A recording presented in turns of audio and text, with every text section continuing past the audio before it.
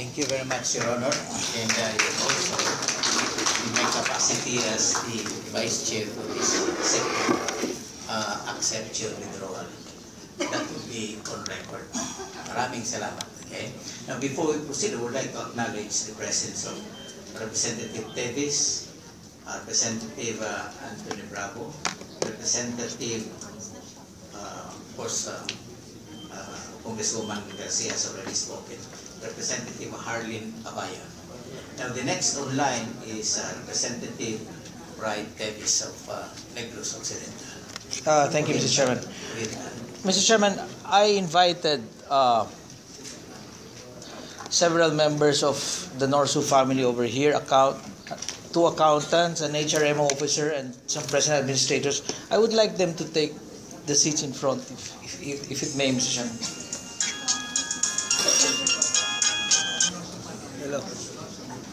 This is regarding NORSU, Negros Oriental State University.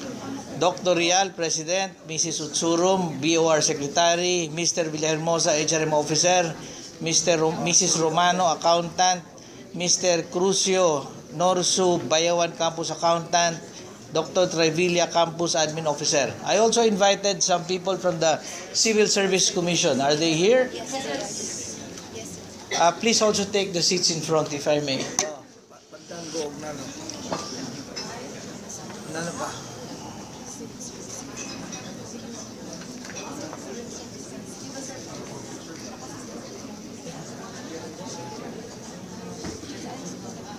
Sige, okay na, okay na, okay na. Ang, ang, ang, ang, ang pandang ko, San Miguel kagabag ha. Hindi na, hindi na kinalan. San na lang ako, pandang ko. Sige, sige, sige. Pagtanggo. Okay. Yeah, from the Civil Service Region 7, I invited Mrs. Asis. Is Mrs. Asis here? And I understand Mi- Miss Kiliano and Attorney Escudero are also here. Thank you very much.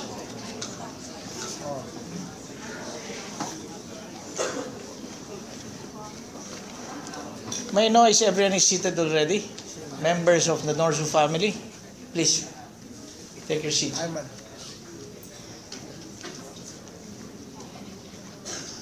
Tapos ikaw.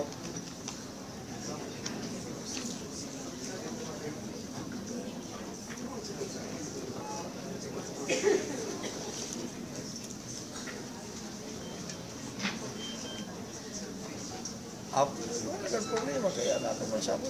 Katarman ka. Di na naman mo karuyan. Dito ka o katarman ka. personal necessity ko, ikaw sang acting ko. Sige, sige. Kaya nato man. Thank you very much. While the while the chairman is out, I'll also preside as uh, temporarily over this committee. Well, you have heard about our PDAF problems. So while you are here until Friday, you may revisit your billing for the pre-PDAF scholars or the PDAF scholars, not just from my district but for the whole campuses. And you may check the payments made by CHED. So for those that have not yet been paid, you may bill them as well. Maximize your uh, time here in Manila. Mr. President, is that a yes? Thank you. Please use the mic. Huh? Okay. I also already had an approval of from the DOST regarding our geothermal engineering courses.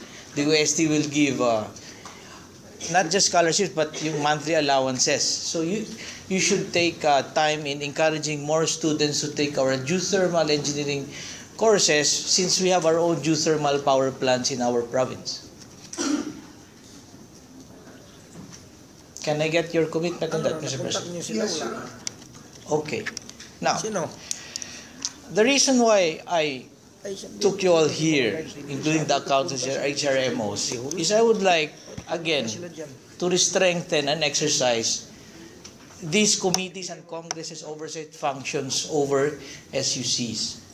Uh, Madam Chairman, of course, Commissioner Alarcon, Attorney Sison knows the problem that we're having in Norsu. And the main problem here is that uh, it seems that the BOR is not followed by the NORSU systems. Let me start. recently during our last meetings in the BOR, we set out some resolutions with, which we asked the president to implement. How have this been so far?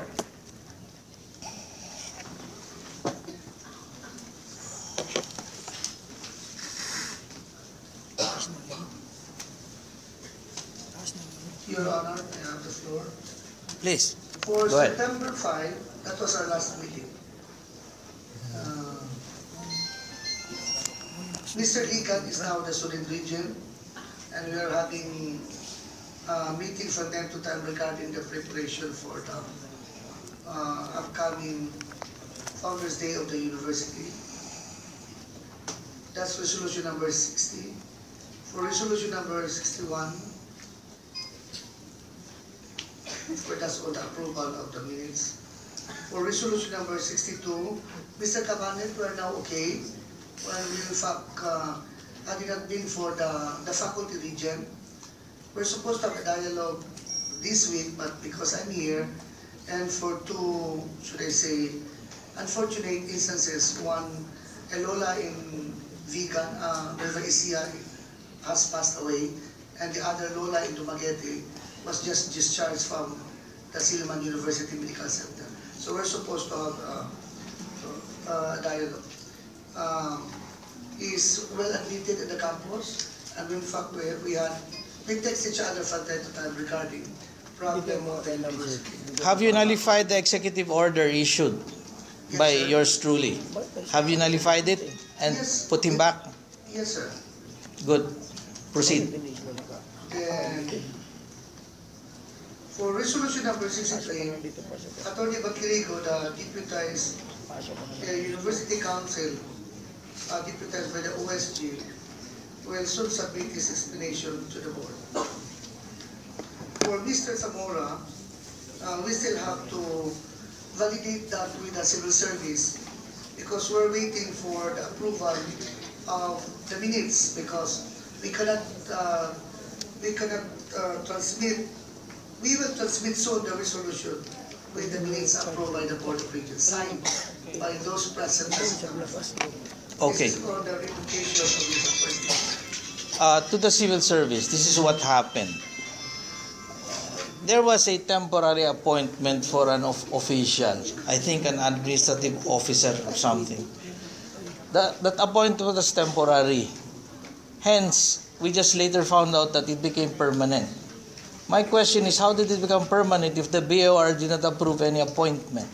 How did it pass through you guys? You, you made it permanent when there was no BOR approval coming from the Board of Regents. Kasi dumaan yun sa inyo, di ba?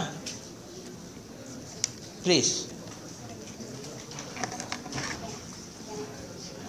Anyone? Um, yes, Your Honor, dumaan yun sa amin yung kay um, Nino Zamora. Yes. Um, um, considering that when the appointment was submitted to us, um, uh, we tried to verify the qualification of uh, Mr. Zamora and up- upon the certification from the um, No, no, no, no, no.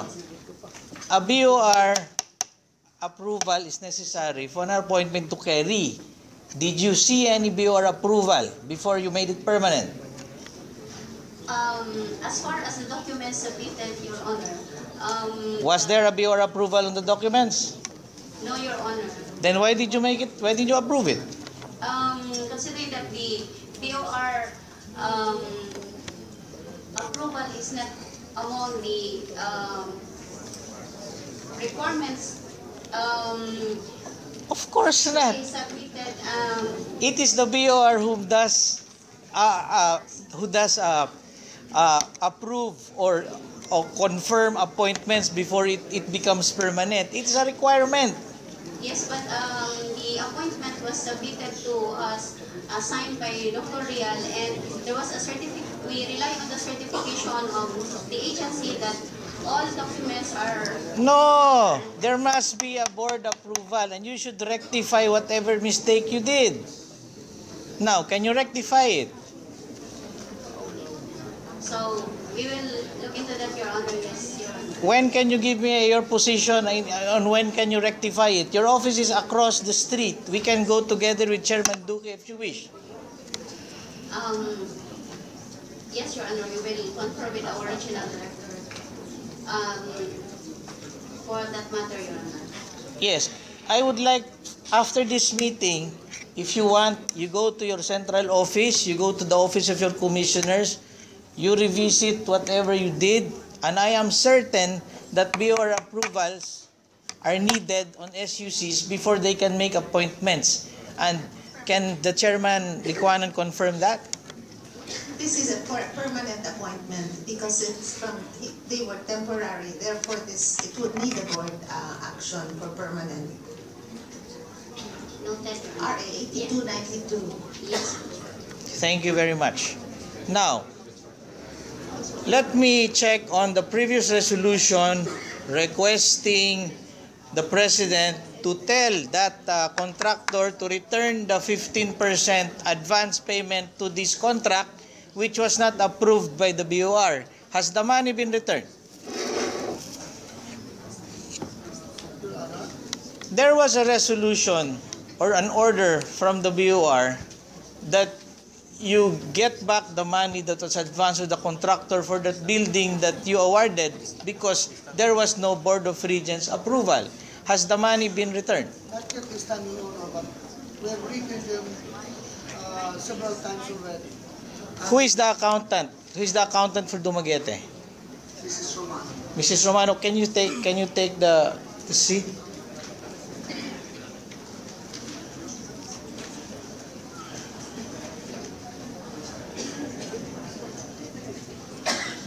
Are you a signatory of the check too? Did you are you a signatory of that 1.5 million advance payment? I signed as to the completeness and proper uh, attachments, completeness of the particulars in the voucher, Your Honor. Did you see any BOR approval that that that that that certificate is co- Did you see any BOR approval that that uh, that that uh, uh, contract was in order? Was there an authority from the BOR for the president to sign for and in behalf to make a contract with that contractor to go into that uh, that contract? I didn't see any, Your except that it has been approved. Who approved it for release? The BOR? Uh, it is our, it is the president. Do you know do you know the rules? Do you know the laws that you are into? Do you know that every contract to be signed by the president, especially on capital outlays, must come from the BOR? Do you know that?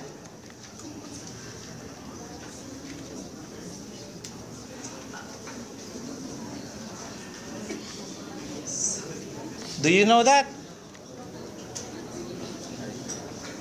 Then do you admit you made a mistake?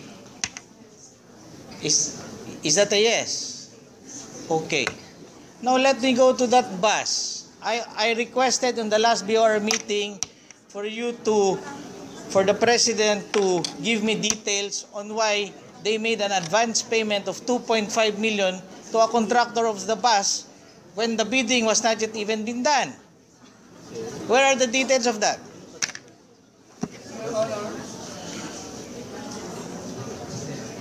That was not a down payment, Your Honor.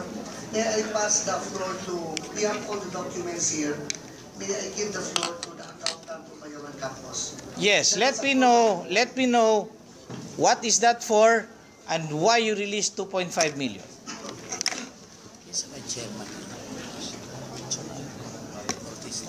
Alarcon. Good morning, Your Honor. Um, the release of the 2.5 billion was actually an option money. After we are, uh, we knew that uh, there were already two failed biddings and that um, we could, How can there be two failed biddings when the BAC clearly told me that there was no bidding process done yet? there was a bidding, there, it was advertised in the Philippines, Your Honor, for, for two times. Advertised, but was there a proper bidding pro- There- process con- uh, conducted by the BAC? Because the BAC clearly said that they withdrew from that from that process. There were no um, bidders who. um, There were no bidders for a bus. That's crazy. There are too many suppliers of buses in this country. Then you gave an earnest money of 2.5 million? Who authorized you to release the 2.5 million? Um, there was uh, the the person who um, negotiated, uh, Mr. Nino Zamora. Um, he He negotiated. Mr. Nino, is that is that the name Nino Zamora? Yes, sir. Is that the same name that I was trying to question with the civil service why suddenly mushroomed into the campus? Yes, sir. Mr. Nino Zamora is what is his role in this campus? Um, he is the executive secretary for to the president. And he negotiated for the bus. Um, he uh, he instruct uh, the president instructed him to facilitate the transaction for the bus. Okay, so the president instructed him to negotiate for a bus. Facilitate the transaction. Facilitate. Would that be correct, Mr. President? Did you order him to negotiate for a bus? My first instruction, Your Honor, was to observe competitive bidding. Then, since there were, I, I was told, just last night, I was told by a member of the bank that there were two fake biddings. So, Mrs. Zamora facilitated into the, to the procurement of the bus. But, uh, and that was not a down payment, Your Honor. That was an option money. Ma'am, whatever you call it, I will cut you short. Madam Chairman, if there will say two failed biddings because there are no buses in this country who would wish to supply us with a bus, doesn't the President have to ask permission from the Board of Regents to go into a negotiated bidding? Would you confirm that, Madam Chairman? Yes, Your Honor. Did you ask permission from the BOR to go into a negotiated bidding for a bus that no one wants to supply, Mr. President? Honestly, I did not ask, but I have the authority here from the board, but not on, Authority from the board to go into a negotiated bidding? no, no, to procure a bus with an authority from the board. Let it be on record, Mr. Chairman, that there was a there was a disbursement of 2.5 million for option money. I don't know whatever that is, without BOR authority. And let it be clear that they said that there were two failed biddings. Is that, is that correct, Mr. Accountant? Two failed biddings, and because no one wants to supply a, a bus, and I am I myself um don't know how to explain that. And let me also be on record, as said by our accountant, that it was Mr. Nino Zamora who ordered you to release the money. Would that be correct? Yes, Your Honor. So what happened now? Where is the money now? Um, after after learning that um, the transaction was not transpiring, um, I asked the Dr. Chevillian to um, follow up It's returned. the the the transaction and uh, we got the money back because it wasn't transpiring and it's not being deposited back to the bank. Okay, it's good that they returned it. But let me remind you that what is done has been done, and that's on record. You do not give monies to anyone because while the bidding process is done, you don't ensure someone that they will get the contract for that earnest money something. That is clearly criminal in nature and you should not do that. The main reason why I invited you here is to forewarn you and all other SUC officials that we should follow the proper rules and regulations. That we should follow BOR because it's BOR who is tasked to lead.